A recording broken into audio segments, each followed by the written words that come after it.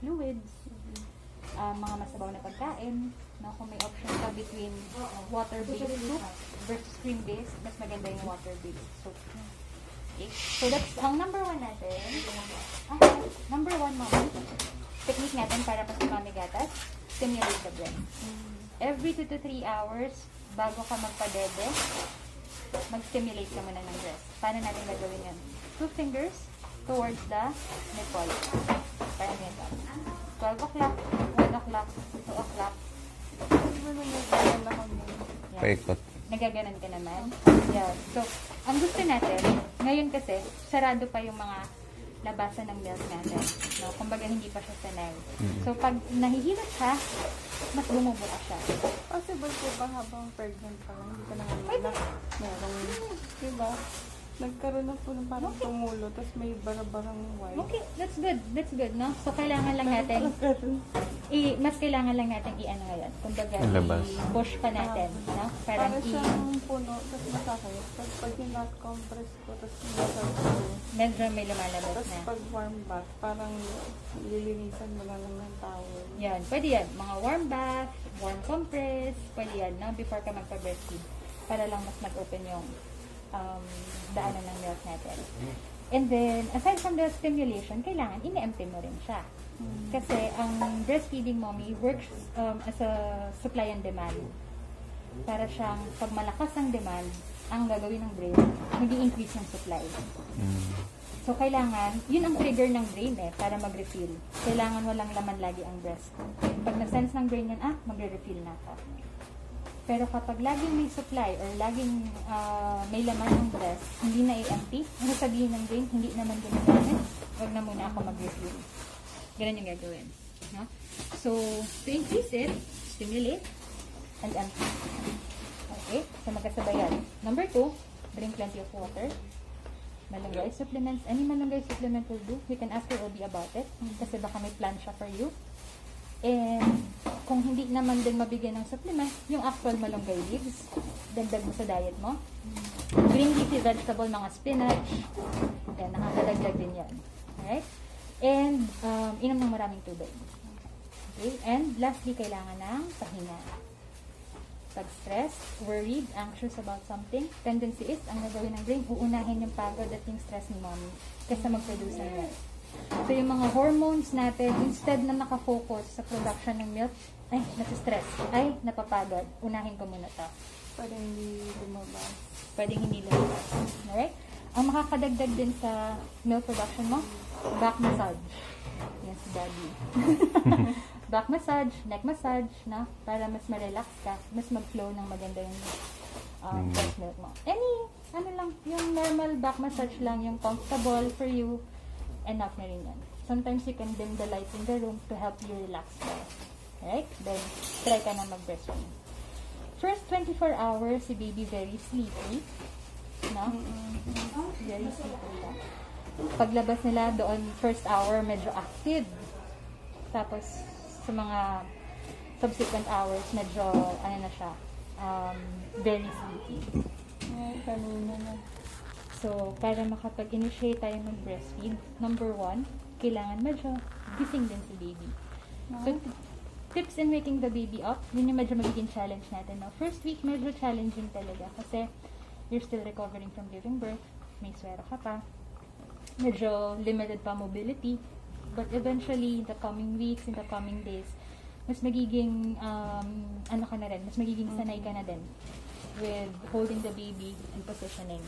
And si baby rin, mas magkakaroon ng neck strength, na head, ano, head, nakokontrol na niya yung head niya, head control. So, eventually, it will get better. Kailangan lang talaga ng tiyaga. So, first week, first few days, medyo matitest talaga ang patience. Dalawa nga kami. Kaya ganun na lang siya. Yeah, medyo matitest talaga yung patience. But it doesn't mean we're not gonna get there. So, take this as your first day at work. No? Parang, unang pasok sa trabaho, hindi talaga alam pa gagawin. You're getting to know each other.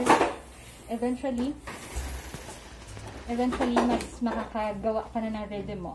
Ng um, kung saan mo gagawin to, kung anong gagawin mo, paano position ng gagawin baby. Ayaw niya yan, ito, this point, gusto niya yan. You'll be able to read baby language again sooner. And um, in terms of positioning naman, make sure that your back is supported, legs are supported, arms na naghahawak kay baby should be supported as well with pillows, rolled blankets, no? Yung mga rolled towels, rolled blankets. It's okay. It's okay, it's okay, no problem, no? Pwede yan, yung mga ganyan, no? Whatever will work for you. As long as you're comfortable. Make sure na when you are trying to position yourself, should be able to sustain that position for at least 30 minutes or more, no? Para at least, um, hindi mo, in the middle of breastfeeding, hindi mo ibababa si baby. Nangangalay na ako mamaya na ulit. No? So, um, position yourself, make sure you're comfy. Si baby naman, when trying to position, make sure that her ears, shoulders, and hips align. Pantay siya. It's very difficult, even for us adults, to swallow pag naka-twist ang neck, nakayoko, or nakatingala. So, when your breast is like this, or nandito yung breast mo, tapos si baby naka-twist ang neck, sunod mo rin yung katawan niya. So, parang nakaharap talaga siya sa'yo. For you not to forget that, ang natandaan mo, tummy to tummy. You should be able to feel your baby's tummy against your tummy. May tinatry yung kanina side, naka-side lying kami pareho. Pwede yun. Pero parang hindi pa niya ano, no? Hindi niya pa masyado. Okay, so yun din yung magiging challenge natin. Trial and error with positioning. We are at the phase na nag experiment pa tayo. What will work, what might not work. no?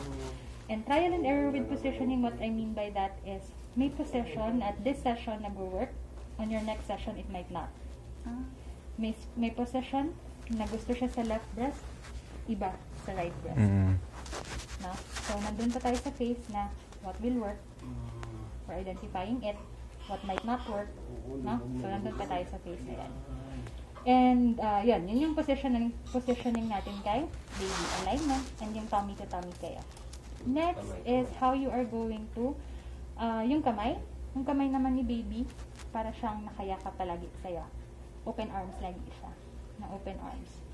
And then nostril, if you're really worried about the nose, one nose nakalabas, one nostril nakalabas, enough na yan for her to breathe. Ang ayaw natin is yung smothered talaga na dalawa. hindi nakikita. Oo, yung hindi natin talaga nakikita. Pero if you see one nostril na nakalabas, enough na yon Or yung bang may um, space lang, no? enough space lang, kahit shadow lang between your breast and the nose, okay na rin tayo din.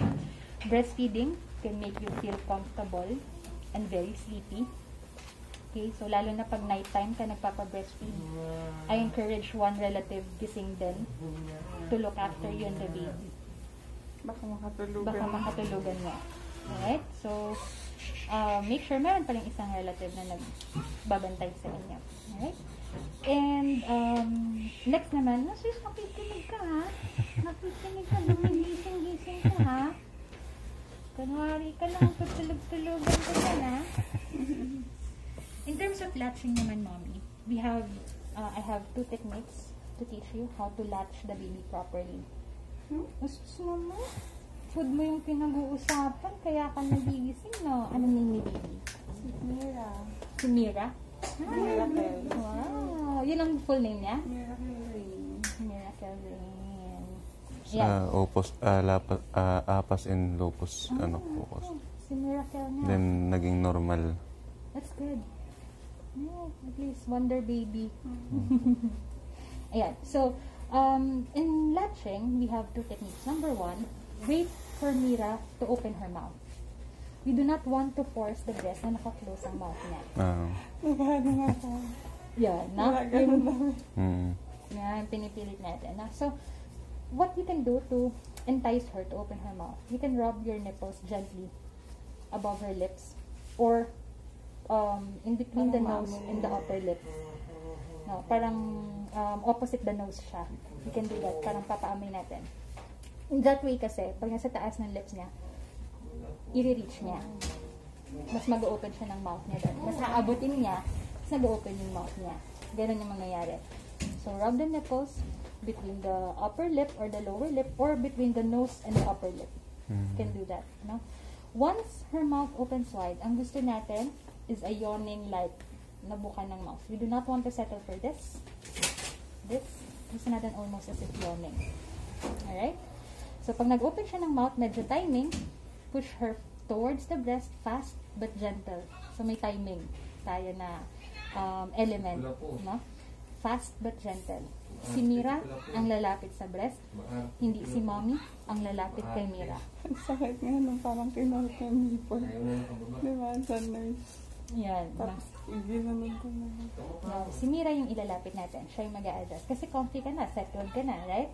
Siya yung i-adjust natin. Making sure the alignment is still present. Right? Number two is how you're going. So, yun yung number one natin. Mouth opening. Number two, how you're going to hold the breast. Imagining mo parang may sandwich kang pinapakain kay Mira. Yung breast mo yung sandwich. Right? So, it depends kung ano yung pwesto ni Mira para magkasya yung sandwich sa mouth niya. So, if Mira is directly facing your breast, this is the upper lip and lower lip. Ang hawak mo sa breast ay letter C. Sandwich. No? So, sandwich. Kumakain tayo ng sandwich. She's directly facing you. Papaliitin mo yung breast para mag-fit sa mouth niya. So, letter C ang hawak natin. But, if ang position ni Mira is yung cradle position, nakahiga siya, katagilid siya, instead of using the C position, paano ka kakain sandwich na nakatagilid, nakahiga? Ito ganun din. Mm, So, pwedeng pabaliktad na letter U or U position under your boob. Or, Parang susundan yung... yes, ano basically, susundan mo yung position ng mouth niya. Kaya ng ibang babies, ang gusto naka-diagonal.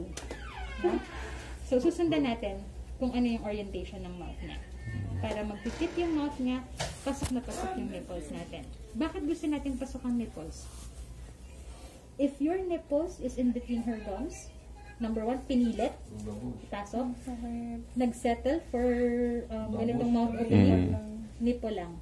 And it will friction or it will glide between the gums ni Mira. It will cause you cracked nipples, sore nipples. What we want, rub, open, nasa loob ang nipples, ang mag-friction na gums nandoon sa breast tissue mo. Less yung impact. Hanggang kasama yung dun sa may ano. Areola. Pero sabi ko kanina, naiidlip na ako kasi hindi siya ganun kasakit. Yan. Pero nung parang kinurot lang yung nipit, tapos pinasok na ganun. Gano'n siya katagal nag-latch ngayon, may I ask? Ngayon, ano oras po yun? One something? One, uh, 1.15 nagsimula eh.